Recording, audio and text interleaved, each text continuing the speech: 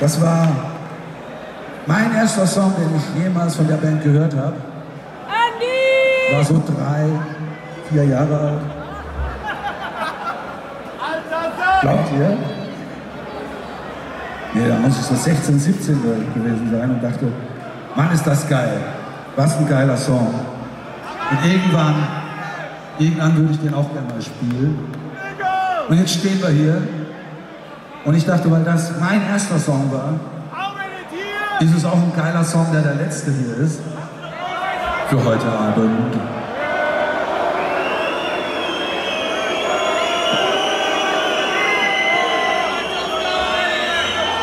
Vielleicht.